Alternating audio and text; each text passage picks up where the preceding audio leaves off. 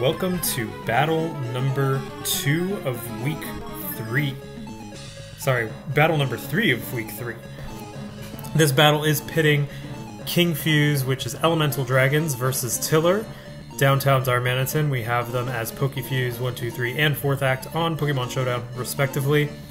As a reminder, the Mega Pokemon available in this fight are Mega Beedrill and Mega Sharpedo. We'll be seeing both today. And then the Z Crystal Pokemon are Clefable and Salazzle with any Z move and attacking Z moves, versus uh, Golisopod and Raichu with any Z move and attacking Z moves. We'll be seeing all of them today, perhaps a Z move. Uh, the only one we won't be seeing is Golisopod. I am Noel from Mystical Chain, and we will be commentating this match. As for some initial thoughts, uh, we have some strong ice coming from uh, King Fuse's side, which is threatening to most of the Pokemon on Tiller's team. Uh, so Tiller's team is really going to have to be careful. I think Bisharp is going to be a big Pokemon in this game on Tiller's team. Bisharp in particular being able to take down pretty much every single Pokemon there except Salazzle. Salazzle is going to pose a problem for Bisharp. However, it is pretty frail, so a plus two Sucker Punch I think will be able to take it out. So Bisharp is going to be the one to watch uh, for King Fuse. And on King Fuse's side, I think the one to watch. Uh, it, all the Pokemon have their own uses. I don't think there's one Pokemon that particularly is very threatening to Tiller. Uh, I could, I, would probably say that Sandslash Alola can do some big damage if it's left unchecked, as well as uh, Beedrill with its pivoting. But we'll see how this will go. I think it's going to be a very offensive battle, mostly offensive Pokemon on Tiller's side, aside from Gliscor and some pretty offensive Pokemon on King Fuse's side as well, some bulkier ones. But overall, it's going to be pretty offensive. So let's see how this goes, and let's bring it on.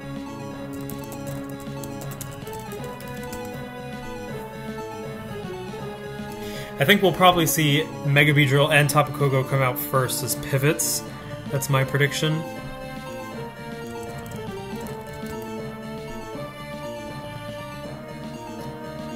Right now we're listening to the Regi Trio battle.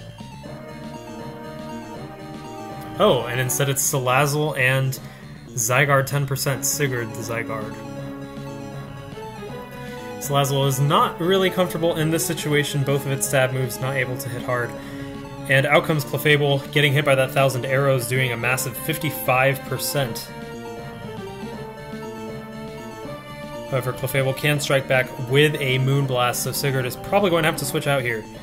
Indeed, he does. Bisharp comes out, and a Z move is coming out from Clefable. Twinkle Tackle dealing 90% big damage on Bisharp. That is good for King Fuse. He is definitely going to want Bisharp to go down. Bisharp going for the Iron Head, but Clefable protects and scouts. Clefable is able to switch right back over to Salazzle, who takes an Iron Head 45% lost, but Bisharp goes down, and the first Pokemon to go down is Bisharp. Probably the strongest Pokemon on Tiller's team against King Fuse. Pretty intense there. And Salazzle is back, and Sigurd is out as well.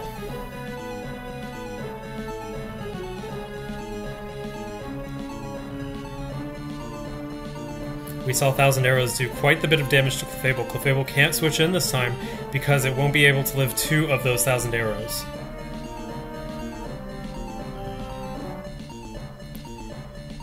King Fuse gonna have to think about what he wants to do in this scenario. Salazzle might be... It might be good to just let Salazzle go, because in terms of matchups, it's not really too decent in in regards to the other Pokemon and their matchups. And here comes Clefable taking a thousand arrows, but not living to tell the tale if it takes one more.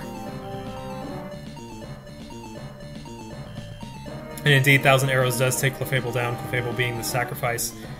Who will come out to face Sigurd? Sandslash Alola who will take massive damage from that thousand arrows, so Sandslash has to be very careful here. Does it have Ice Shard?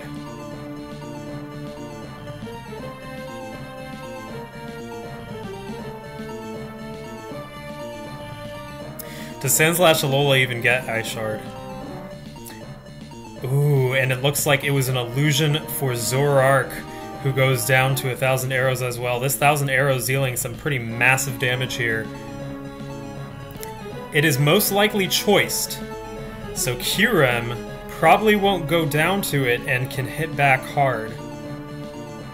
Because Kyurem's Dragon and Ice, right? Yeah. It's not electric type, so... Won't go down to the thousand arrows, I think.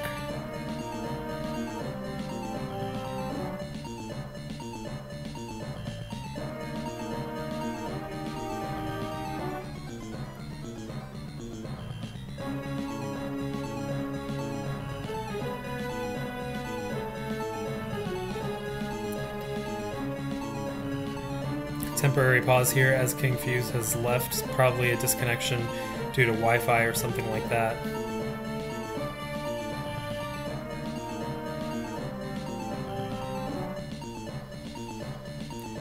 Will we see a strong ice move come out? The thing that uh, Kyurem is going to have to be careful of is definitely Tapu Koko. Tapu Koko could come in on a dragon type move with relative ease. And we do see an ice move, Ice Beam, dealing 50% to Blackbird the Tapu Koko. Tapu Koko might go for a Dazzling Gleam, but it won't. Well, depending on the damage roll, it might be able to live an Ice Beam. We'll see.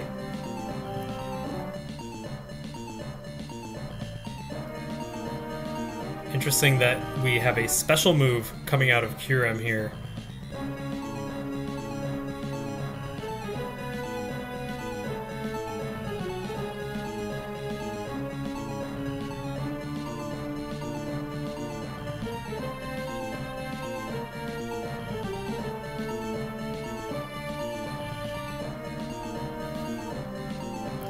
Looks like there's a little bit of contemplation of what's going to happen next.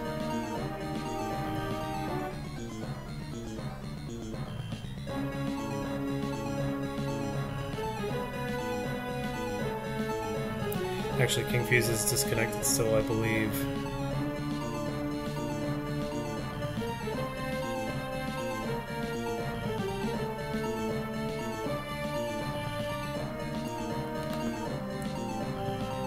He's reporting that he's having trouble joining.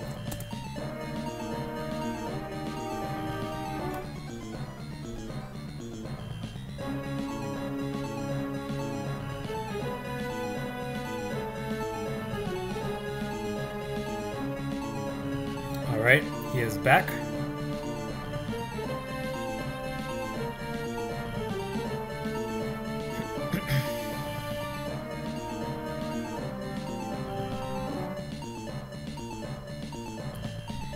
Pretty tense here between the two Pokemon, both being able to take each other down. If it's a choice specs Tapu Koko, maybe Dazzling Gleam will be enough. And Dazzling Gleam hits Sandslash Alola. It is a Life Orb Tapu Koko, dealing some damage there, so I think the Ice Beam will definitely take Tapu Koko down from uh, Kyurem. And Thunderbolt hits, dealing a little bit more damage to that Tapu Koko. Very fast Tapu Koko. And Beedrill comes out. Out comes Gliscor. Beedrill going for the U-turn.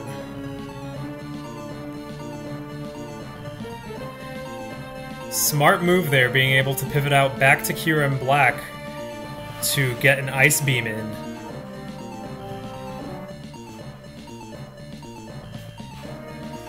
Oh, and Bat Demon, the Gliscor has a Toxic Orb attached, which will allow it to heal.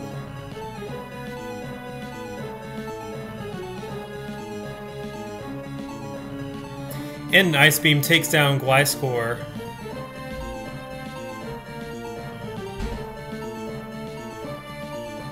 I'm predicting we might see Tapu Koko come out again.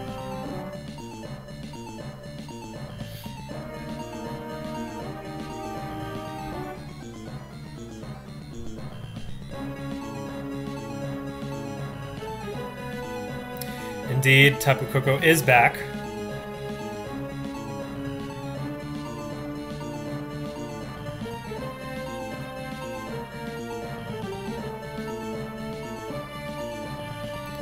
Using a Thunderbolt, paralyzing Kyurem, that is going to be not so good for Kyurem.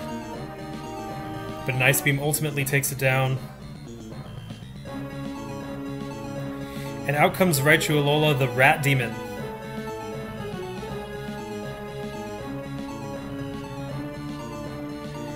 If Raichu Alola can take down Kyurem before Electric Terrain goes away, this could be game.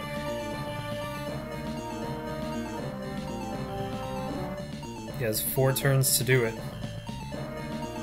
And a Focus Blast is going to miss Ice Beam hitting Raichu Alola, but dealing only 45%.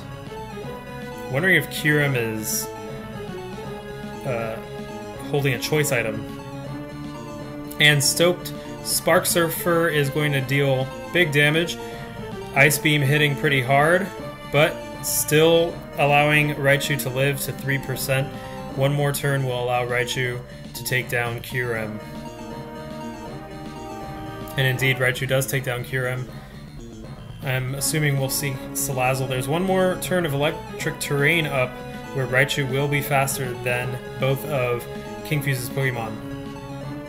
And indeed, we do see Salazzle come out.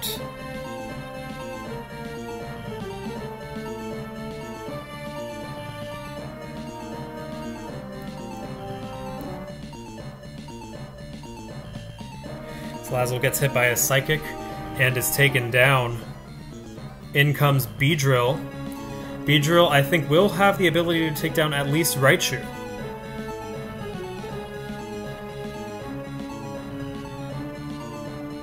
And indeed it does. Raichu goes down. In comes Zygarde.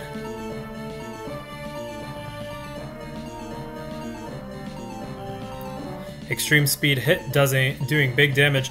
A Drill Run is going to hit, doing about 50%.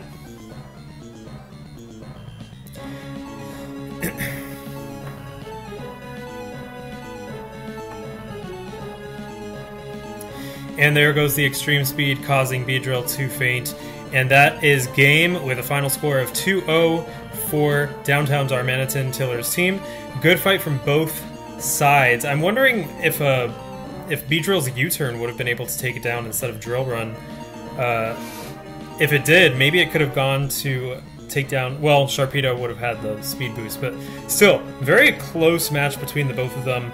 Uh, both really going on the offensive. That was a pretty short match, and some sacrifices definitely had to be made for both sides, where they realized this Pokemon needs to die so I could send in the next Pokemon safely and go for some more offensive pressure. Uh, but overall, pretty good. So that was Battle 3 with a victory for Downtown Darmanitan of 2 0 over King Fuse. Total score of 3 0 in the league so far, with King Fuse having 2 1. Tune in next time for battles 4, 5, 6, and 7 of week 3, and I'll see you then.